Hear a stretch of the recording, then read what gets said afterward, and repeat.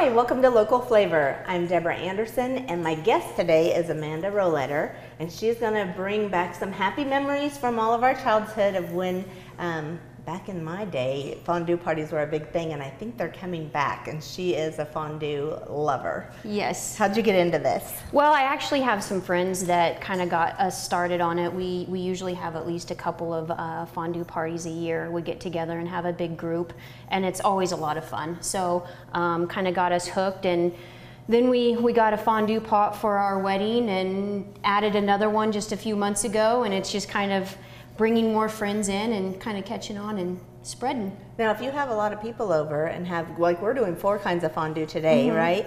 Um, do you have to borrow someone else's pots then? Yeah, yeah. Usually, usually you have a friend that has one or two, and it's like, okay, bring it over. We we have them all uh, initialed, so we know whose is who. And Oh, because everyone and- has a. Cuisinart. well, some of them do, and some of them have different ones. But uh, yeah, yep, we all These come look together. really nice, these do.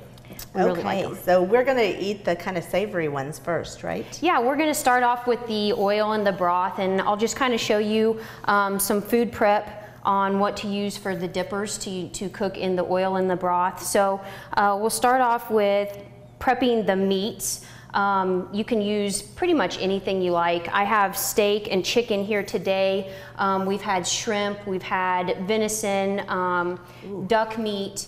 In Where do you find that?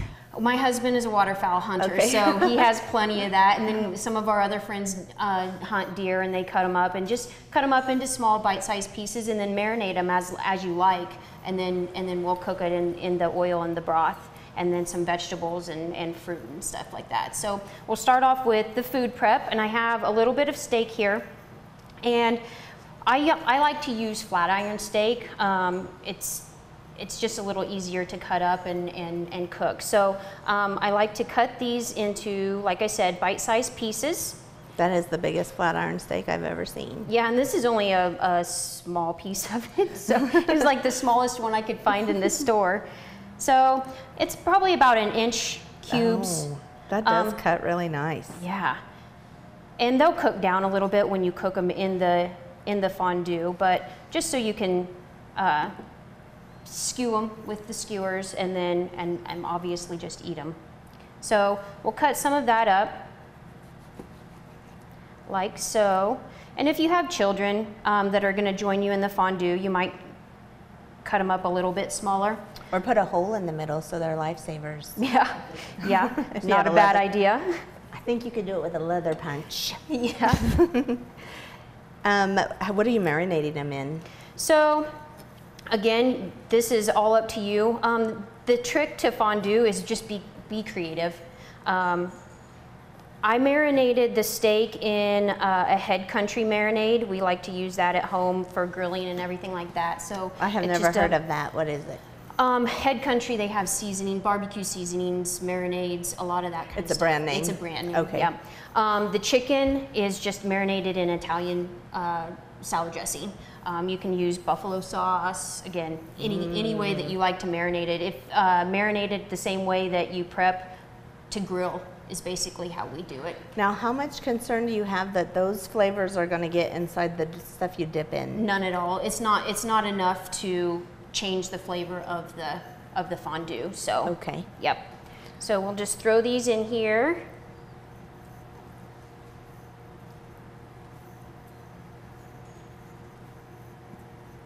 And you'll see that the chicken is, is marinating and I have some of those small pieces of meat. Also, I have prepped um, some vegetables to use in the fondue as well um, broccoli, cauliflower. We have uh, cheese tortellinis. Those are fun. Um, I did some small red potatoes and cut them up into bite-sized pieces. Um, some French bread, day-old bread. Uh, let it dry out a little bit so it's easier to dip. Um, and then uh, A carrots. Carrot. What would I dip a carrot in? Okay, well, let's get our um, dips going so we can All right. get them heated up. But I'll try a carrot one. All right. We'll start off with the what? Oil. Fry a carrot. I'm gonna fry my carrot. and broth. Yes, yeah, you can you can cook it. The broth basically kind of steams the vegetables, so that's where I like using the vegetables in the broth a little bit more than the oil. Um, and so we'll get our fondue pots here ready. On the oil, it's basically pretty easy. Um, you use about two to two and a half cups of oil. You can use canola oil or peanut oil. Um, I have canola here because I just, it's a little healthier, I like that. Um, so basically just pour your oil into the pot. I wonder if you can even buy peanut oil in a small container. I've only seen it in those Big giant. tubs, yeah, I know, yep. I'm sure you can. And in the oil, I don't usually add any seasonings, but you very well can. Um, if you want to do like a Cajun kind of oil Oh, or, you know, just have a little bit of spice or something. Um, so you'll just pour that oil in there and turn on your fondue pot. These are actually electric pots, so they have a number dial. Some of them have a temperature dial on there. Now, how do you know what temperature you want to put it on? I usually start it off at five until it starts to get like a, a little bit of a rolling, rolling boil, and then you just adjust it as as you start sticking your, your food in there to see how it's how it's actually cooking. You don't want it to smoke, for sure. right, right. It's Yep. done. If it smokes, you have to start all over. yeah. You can't. You can't go back. So we'll let that one start heating up. Now on the broth, this is my favorite one. Um, Really? yes, I, I love broth. It makes it makes the house smell fantastic because we'll use uh, green onion and garlic, and i- it's I feel it's a little healthier. It's just a little lighter than using the oil. So um, starting off, I have some garlic and I use about three three cloves of garlic in I mince it in my little mincer, one of my little mincers. It's just called chef's. Oh, it's yeah, tiny. chef's mate. It's like that old onion chopper, Yeah. but tiny. I wonder. Oh, so that'll leave it in nice big chunks instead of pre- like the press would Right, kind of yeah. liquefy it almost. Yeah, I like my garlic, so I try to get uh, as much out of it as I can. Go ahead and do the other th- two. Do you want me to do one too, or do you want me to cut up the onion? Yeah, you can cut up the onion. I have the, these herb shears here that I like to cut the onions with, and you Oh, can just okay, throw great. those right in there. I have I have these same herb shears. I usually use it for cilantro. I would never. That is great for that. Am I doing it the way you would? Yep. I love these shears. I do always feel like you have to get a toothpick and push the Yeah, or little fork or something. uh, Yeah. Do you go all the way to the top? Yes, use them all. I trimmed them up. I, I cleaned them up and I trimmed them up. Um, cut off a little on both ends, so they are clean. It's just a green onion. Just, a green onion. We've got our garlic, and we'll just throw that in there.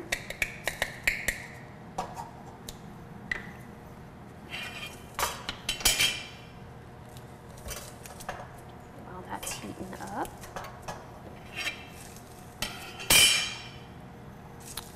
You go ahead. I'll just keep clipping. All right, and then I'll pull in a little bit of olive oil, just so we're gonna saute the garlic and onion a little bit in the pot before we pour in the broth.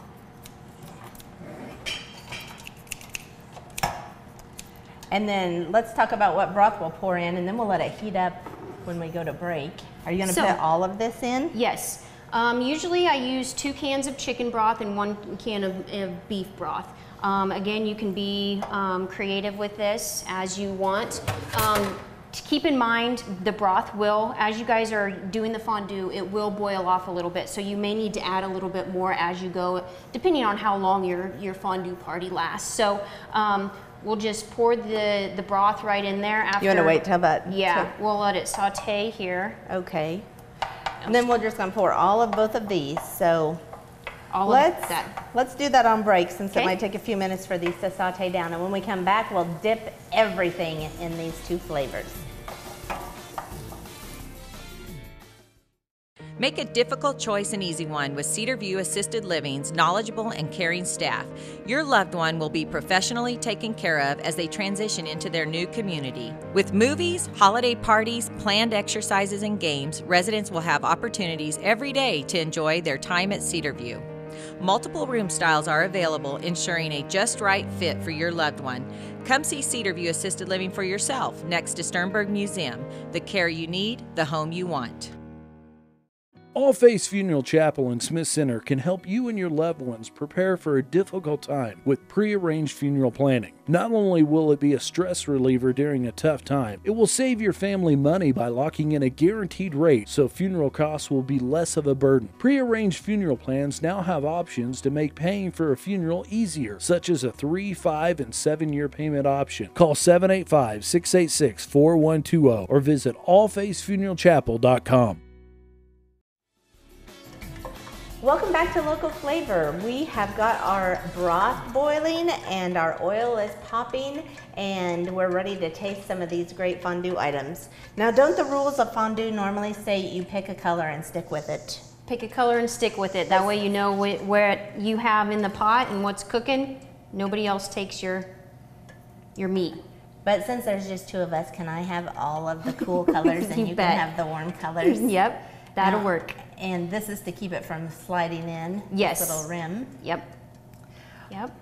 Uh, I put that in broth, I think. Yes, you did. You put some steak in the broth.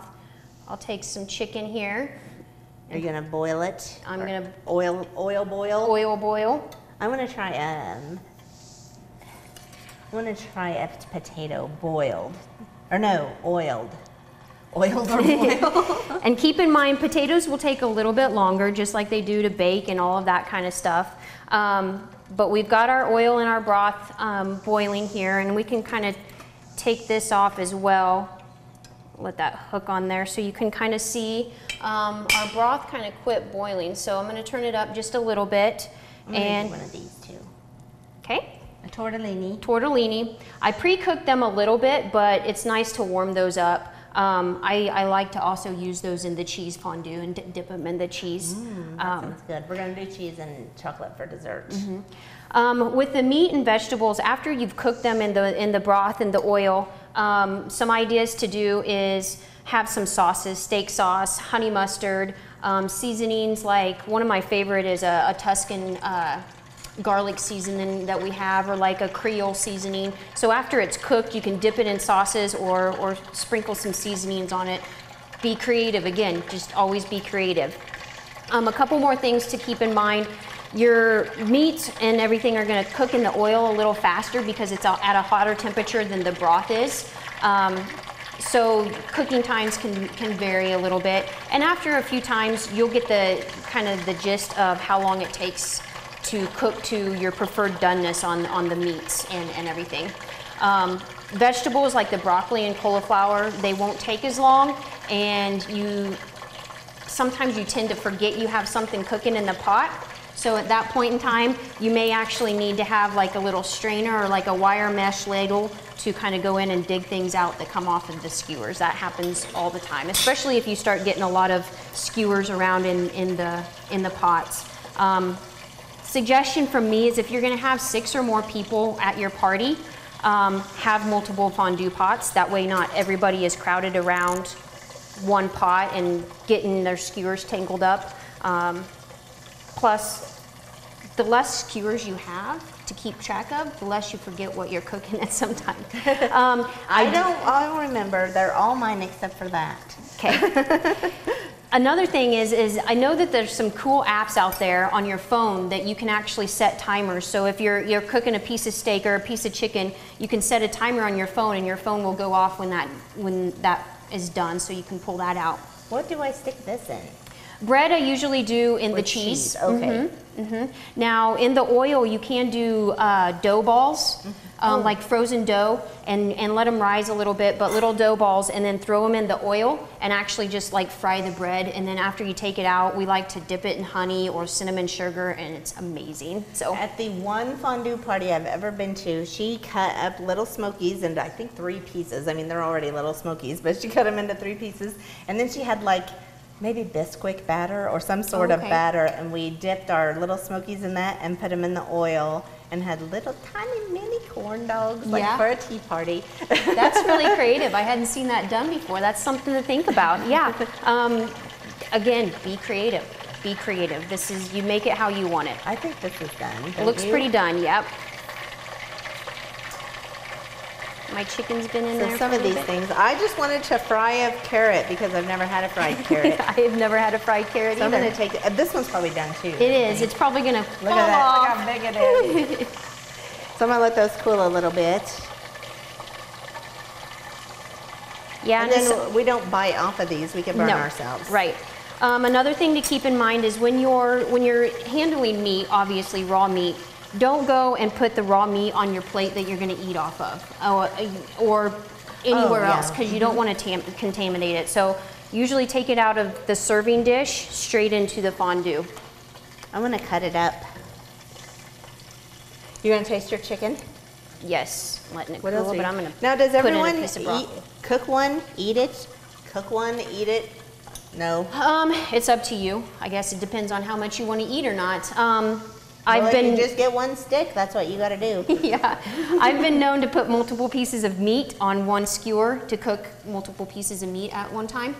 Um, obviously, you don't want to line them all up because they need to be submerged into the broth. Look at mine, look how perfect that cooked. That is perfect. Can you Little see pink. that? And that is delicious seasoning. I'm gonna have you write down that seasoning brand for me. Yeah. What kind was it?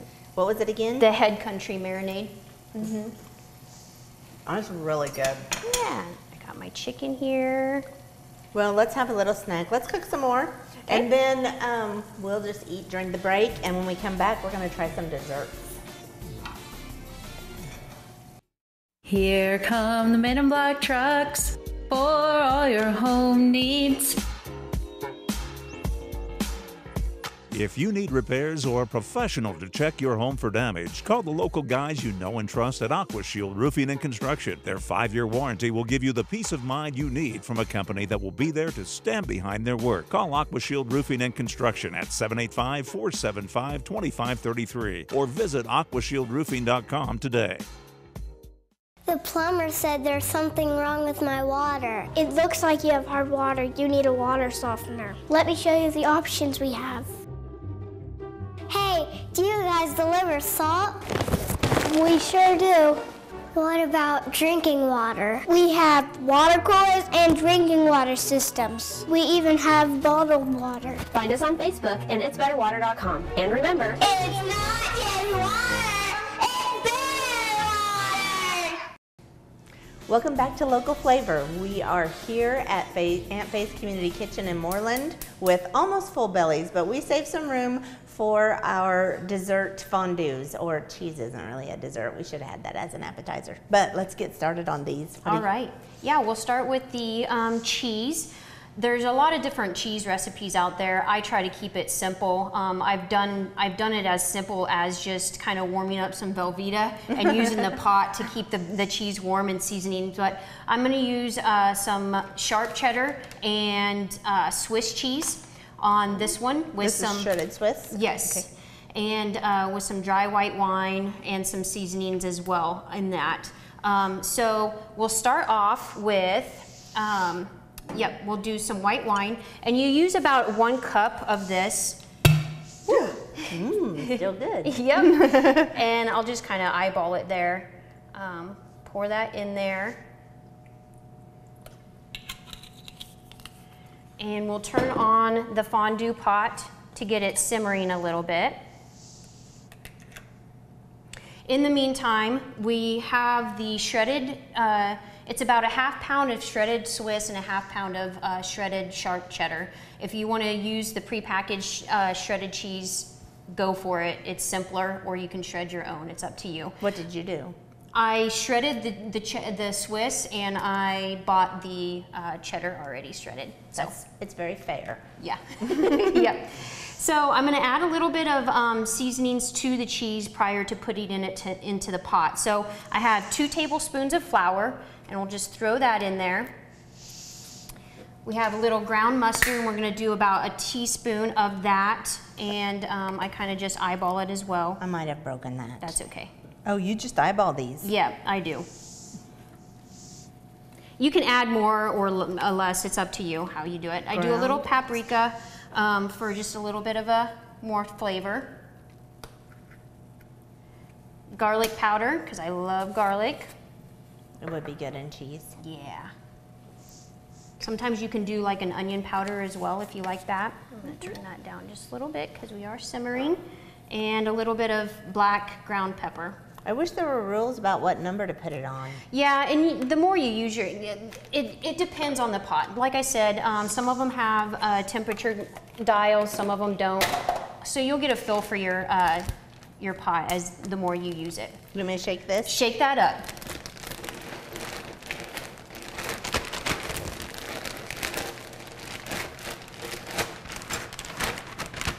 And once that's shaken up, you'll just start adding about a quarter cup or a handful at a time and keep mixing that up and whisking it until it's melted. You want me Um, to get it right on it? yeah, go Is it ready? Yep, Okay. it's ready. And um, we'll kind of take a take a look to see um, what the consistency looks looks like. Stir In the meantime, constantly. Stir constantly. I'll be quiet. And let me know if you need me to turn this up or down here, or you can do that. In the meantime, I will start on the chocolate. So we're going to start off with two cups of semi-sweet uh, chocolate chips. I have sweetened condensed milk, just one can of that. I have a quarter cup of butter. We'll use some milk in there and some vanilla extract. So Let me see what brand of vanilla extract you've got here. Nice. just what I could find at the store. So. Okay. And we'll start with putting putting in the chocolate chips. We'll add in the condensed milk.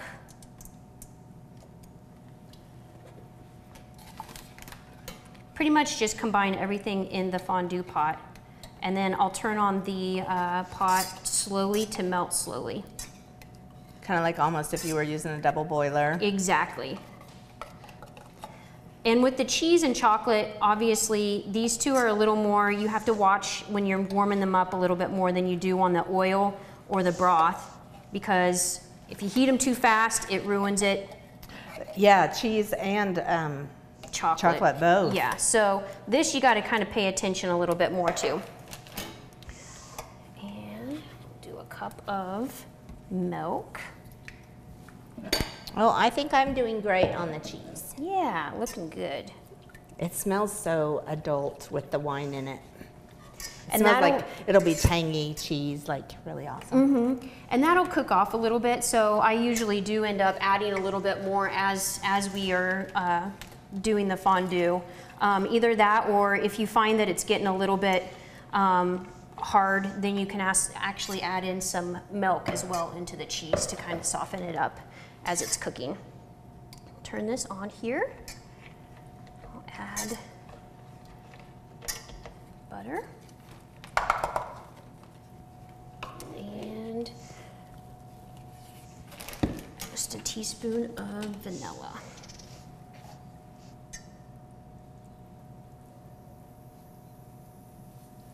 Is that that's all for that one then? That's all for that.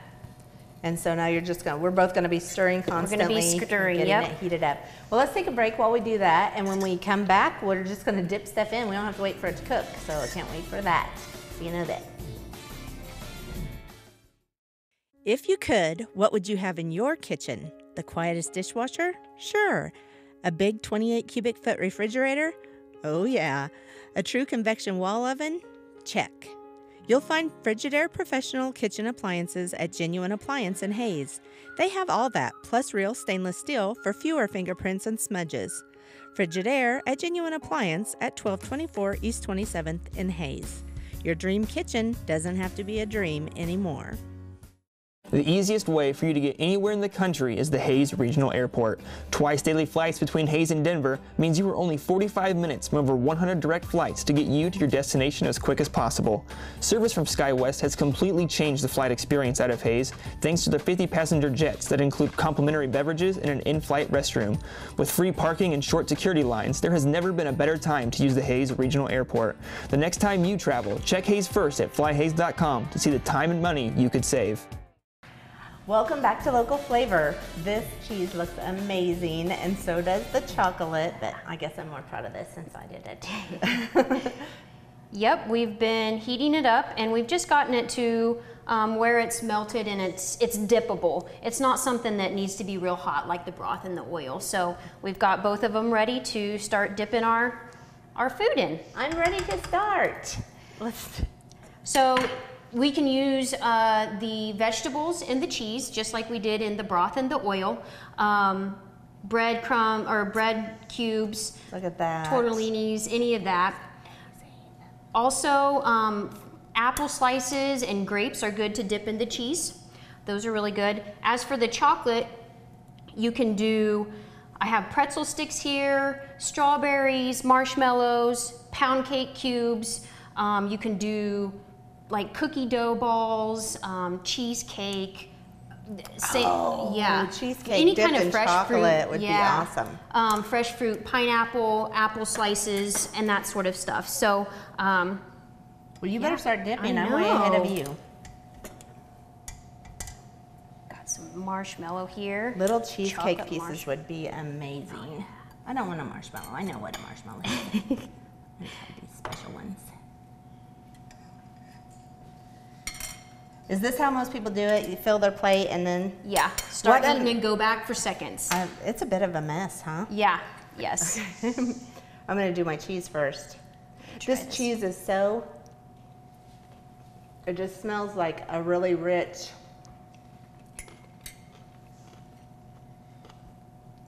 The wine and the Swiss make it just, it's just such an adult, grown up cheese. I mean, you could do the Velveeta too, but this is so not Yeah. Velveeta. It's so, It's a little bit so different. rich and sharp. yes, mm-hmm. yep. Mm. That's delicious. All right. Well, I'm gonna try my chocolate. You go ahead, eat whatever you want. I'm gonna do. It's your party. I know. Mm. That's good. Chocolate. Yeah, and I like how it stays so nice and soft. Now keep in mind on the vegetables and the, the fruit for these two, make sure that your dippers are completely dry, otherwise the fondue is probably not gonna stick to it when you, when you dip in there. So your broccoli, your vegetables, your apple slices, that sort of stuff, if they're wet, the cheese is gonna come right off, so keep that in mind. Okay, and we keep these heated up and keep Yes, stirring. Okay, well, we have got a lot to eat here, so we'll have to leave you now, and I hope to see you next time on Local Flavor.